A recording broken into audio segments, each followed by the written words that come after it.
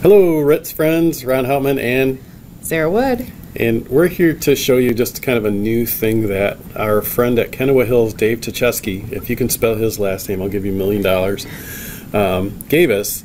This is a e-glass, and that's like a lowercase e with G-L-A-S-S, and they have a website which is eglass.io and at eglass.io you can learn about this device we're using. So what we're doing, we're kind of, if you guys remember Romper Room, nobody does because we're not all that old.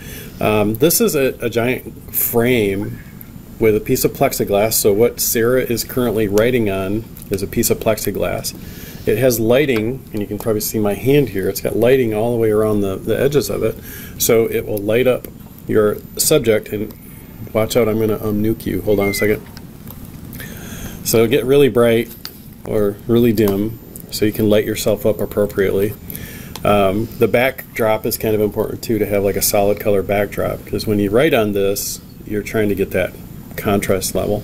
So really in short what it is is it's a a non-interactive drawing board of some sort where you sit on this side of it the camera is on the opposite side so I'll reach around here there's the camera over there we hit glass, piece of glass, edge lit, and the other part that's kind of neat too, I'm going to turn down the glass light here just a second too. So you'll see that we can turn on and off. So if you, you think about, what kind of markers are those again? They're neons, is that right?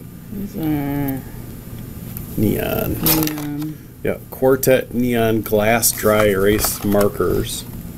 Not smarkers, because they don't smell like smoky backpack. Um, and you're just writing on this thing. So it's really great for somebody that might be a virtual teacher that would be writing out, um, let's say if we're trying to do mathematical assignments, things like that, where they're actually solving problems.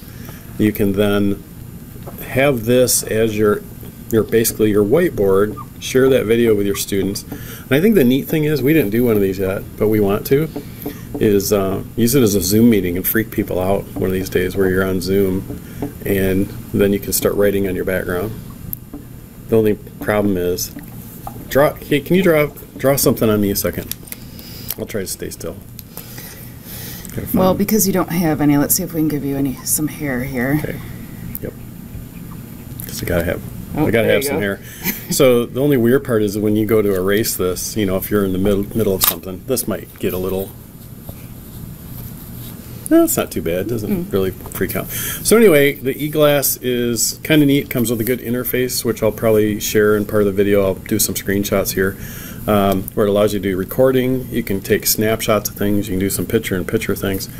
Uh, the pricing is somewhere in the $2,000 range for this.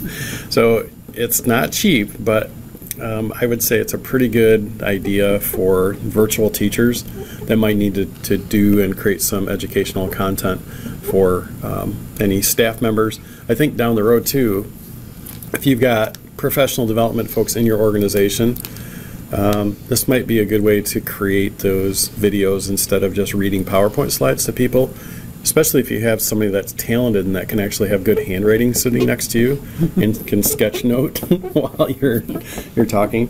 One thing just to notice too is uh, is that you do have to have some sort of a again solid background back here. So we just took a moving blanket and tossed it up behind here. So oh nice. Okay. Yep. okay, so that's it. Um, we'd be happy to share more with you about this, and I appreciate Sarah got to fit her face inside of her writing. I know. um, share any other info you want with us, and I'll post some other stuff to wherever it is that I post this. Awesome. So, so thanks. Yeah, that was fun. Okay, see ya.